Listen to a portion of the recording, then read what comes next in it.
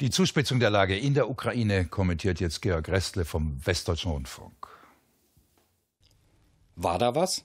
Ach ja, hatten wir ganz vergessen. Ein Krieg in Europa. Den gibt's ja auch noch. Fast 5000 Tote, rund eine Million Vertriebene und täglich neue Kämpfe. Hatten wir von der Tagesordnung gestrichen. Wir hatten ja Pegida. Jetzt also Mobilmachung, Offensive, Gegenoffensive und ein Flughafen, der in Schutt und Asche liegt.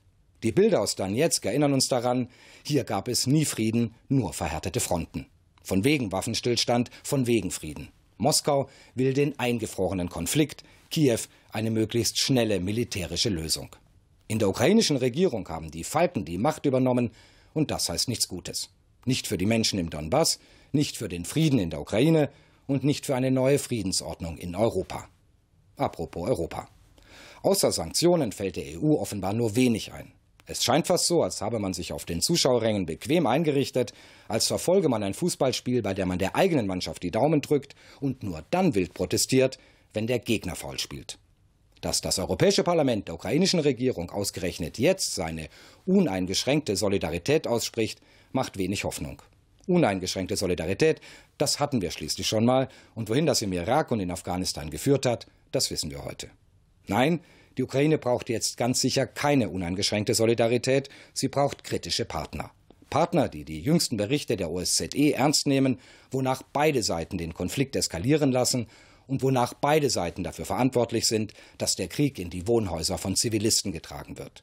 Denn dieser Satz gilt weiterhin, Wer die von Russland unterstützten Separatisten zu Recht kritisiert, der muss auch der ukrainischen Regierung in den Arm fallen, wenn Zivilisten Opfer eines Krieges werden, der im sinnlosen Kampf um einen in Trümmern liegenden Flughafen seinen absurden Höhepunkt erlebt.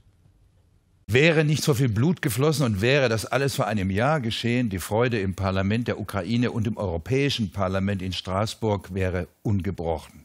Denn in beiden Parlamenten wurde heute zeitgleich das Assoziierungsabkommen der Ukraine mit der Europäischen Union verabschiedet. Das ist genau dieses Assoziierungsabkommen, das vor einem knappen Jahr die gefährliche Krise zwischen Russland, der Ukraine und der EU ausgelöst hat.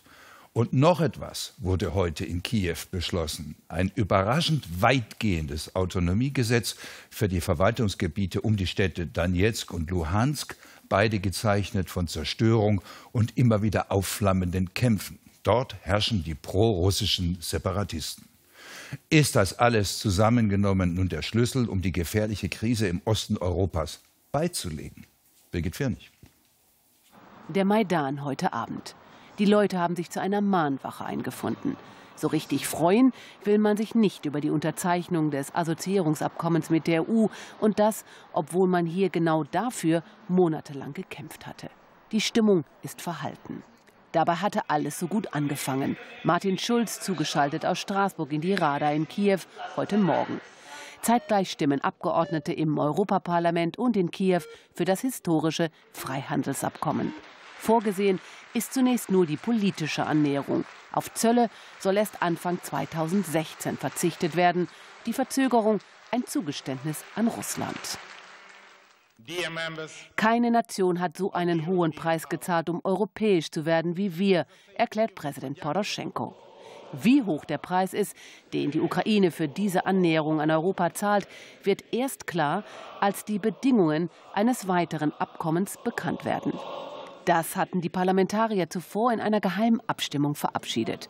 Das Gesetz räumt der Konfliktregion Donbass einen Sonderstatus ein. Neben dem Schutz der russischen Sprache sieht es Rechte vor, die heftig diskutiert werden. Die Stärkung der Selbstverwaltung, eigene Wahlen, das Recht, Volksmilizen zu gründen und eine weitgehende Strafbefreiung prorussischer Separatisten. Als abgestimmt wird, protestieren draußen Anhänger der nationalistischen Swoboda-Partei. Viele Abgeordnete fühlen sich von der Abstimmung überrumpelt. Auf der einen Seite haben wir diesen großen historischen Moment, auf der anderen Seite so ein falsches Signal. Wir geben mit diesem Gesetz Banditen und Kriminellen eine Amnestie.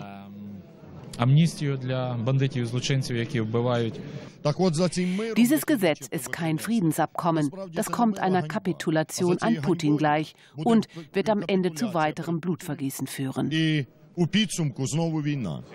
Viele in Kiew sehen in dem Gesetz die Gefahr einer schleichenden Abspaltung der Ostukraine. Putin-Kritiker interpretieren es als einen Sieg für Putin. Es entsteht so ein de facto Protektorat innerhalb der Ukraine, das Russland steuern kann. Das wird die Ukraine wieder stärker an Russland binden. Auf dem Maidan heute Abend gemischte Gefühle. Ich finde diese Zugeständnisse an die Ostukraine unakzeptabel. Viele sind wie Helden im Kampf gegen diese Terroristen gestorben. Wie kann man deren Müttern in die Augen sehen? Auch wenn der heutige Tag vielleicht die Chance auf Frieden gebracht hat, so zeigt er auch, wie schwer es ist für die Menschen in der Ukraine, wieder zueinander zu finden. Und was uns jetzt natürlich interessiert, Georg Gressler in Moskau, war es denn vorherzusehen, dass Teile der Ostukraine, wir haben es ja gerade schon gehört, die von den Separatisten doch beherrscht werden, plötzlich eine so weitgehende Autonomie zugestanden bekommen? Naja, das war schon sehr überraschend. Also vor allem, dass die Rechte so weitgehend sind. Es geht ja nicht nur um den Schutz der russischen Sprache oder um eigene Wahlen, die dort in der Konfliktregion zukünftig durchgeführt werden sollen. Es geht um weitgehende Selbstverwaltungsrechte und insbesondere die Errichtung einer eigenen Volksmiliz zeigt, wie weit dieses Gesetz geht. Die Abgeordneten selber jedenfalls waren heute überrascht davon. Das Gesetz stand zwar auf der Tagesordnung der Rada, aber worum es da eigentlich gehen sollte, das wussten die Abgeordneten nicht und dementsprechend waren sie auch im Anschluss an diese Abstimmung empört. Wichtig ist, dass es bei diesen Gesetzen heute noch nicht um ein endgültiges Gesetz geht, sondern eine Art Rahmengesetz. Das heißt, die Frage, ob es sich hier künftig um einen Autonomiestatus der Regionen Donetsk und Lugansk handelt oder schon um eine weitgehende Unabhängigkeit, das hängt dann doch sehr von der konkreten Ausgestaltung dieses Gesetzes ab. Georg, wenn Sie jetzt einfach mal einen Strich unter den heutigen Tag machen, was sich da alles so getan hat, hat Putin seine Ziele weitgehend erreicht oder nicht? Ja, das ist gar nicht so einfach zu beantworten, zumindest wenn man den Anhängern der Svoboda-Partei oder auch den Anhängern der Partei der ehemaligen Regierungschefin Julia Timoschenko heute zugehört hat, dann klang das schon sehr nach einem Sieg Putins. Aber die Wirklichkeit ist wahrscheinlich komplizierter. Man darf ja nicht vergessen, dass heute immerhin auch das Assoziierungsabkommen abgestimmt wurde oder ratifiziert wurde. Und selbst wenn der Freihandelsteil erstmal aufgeschoben worden ist, muss man doch feststellen, dass das sicher nicht im Interesse Putins war. Hier kann man also ganz sicher nicht von einem Sieg Putins sprechen.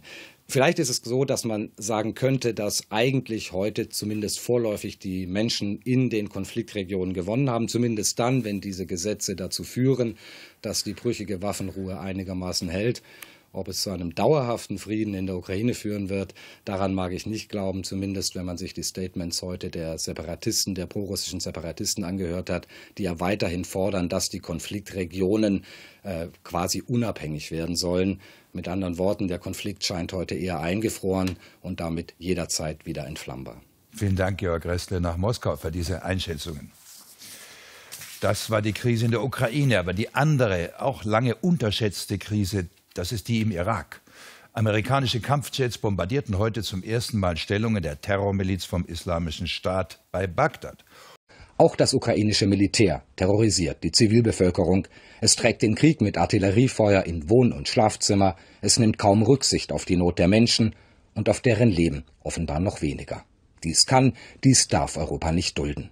So wie Moskau mitverantwortlich ist für eine Soldadeska, die Unschuldige entführt, foltert und mordet, so tragen Europas Regierungen Mitverantwortung für das rücksichtslose Töten einer Regierung, der sie selbst zur Macht verholfen haben. Deshalb braucht es jetzt eine klare Botschaft an die Machthaber in Kiew. Der Terror gegen die Zivilbevölkerung muss beendet, der Artilleriebeschuss von Wohngebieten sofort eingestellt werden. Wenn nicht, macht sich Europa mitschuldig. Dann sind die getöteten Zivilisten im Häuserkampf von Donetsk oder Luhansk auch unsere Toten.